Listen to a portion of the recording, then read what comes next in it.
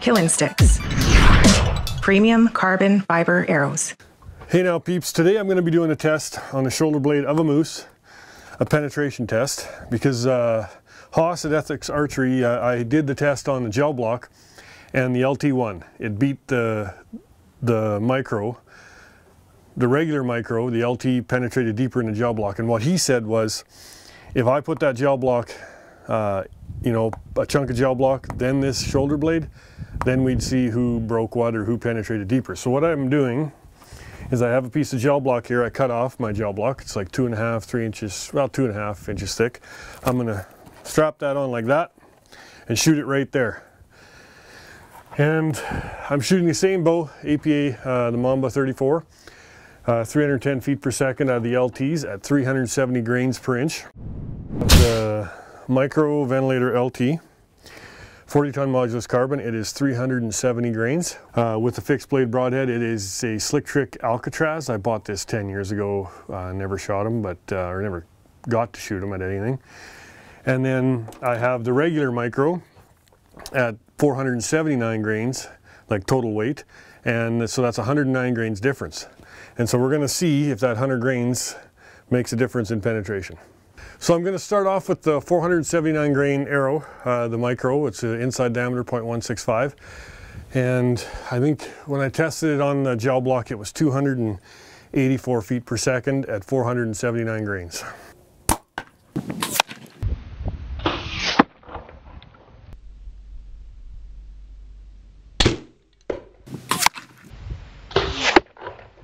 Just for fun and to waste some money, is I'm going to take one of these arrows right from my quiver and I'm shooting a dead meat 100 grain uh, mechanical.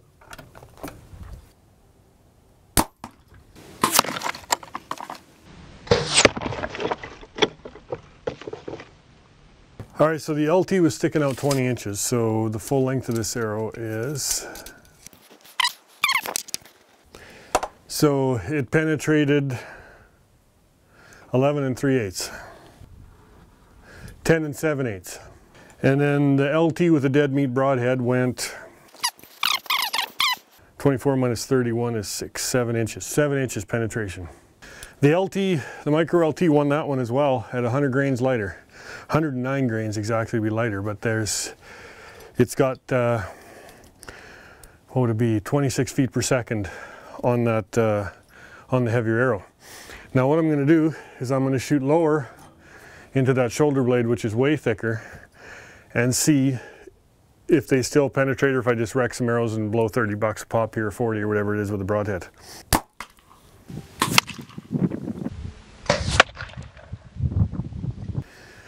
Okay, now just for fun and to waste some more money, I'm going to uh, shoot the lower part of that uh, shoulder blade, that moose shoulder blade, with the dead meat just to see because when I pulled it out of the target uh, it was all broke up like not the tip actually because it's a pretty heavy duty tip on this thing but the blades had broke and I don't know was, if that was from me reefing on it but I'm going to shoot through lower down where it's way thicker and see if it holds up. Uh, this is again with the micro LT. This is what I'm hunting with this year. Haven't got to shoot anything yet, but Jason has killed an elk, whitetail buck, and a mule deer with uh, the LTs. Mitch has killed bear, uh, moose, uh, and a whitetail muley buck. Killed them all with the LT, and actually he's shooting the dead meat broadheads, and they're they're working really well for him. So, but I just out of curiosity's sake, I want to try it. I'm going to put a fresh uh, shoulder blade up there. I got two of them, and I'm just going to put a fresh one up there just so it's uh, fair. There's no holes in it, and and we'll see what this dead meat broadhead can do.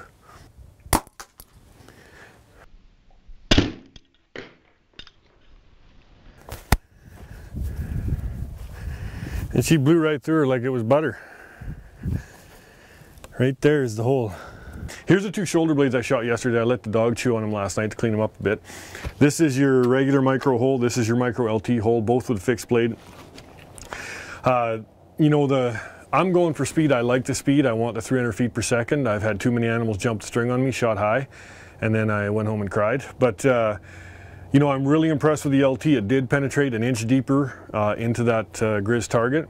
And, uh, you know, it, it, just performs well. If you want speed and penetration power, the Micro LT is is for you. I get the guys with the heavy arrow, you know, it, it's but it's just that much slower, and it's personal preference. You know, I want the speed and I want the hitting power, and that's what I'm getting with the Micro LT.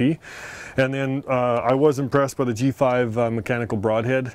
You know, it, it punched right through the shoulder blade like butter, and both all three blades were intact, which was awesome. So you know, my, I guess the next thing, my best advice I could give you is just don't shoot him in the shoulder. 10-4 over and out. Kill'n Stix. Premium carbon fiber arrows.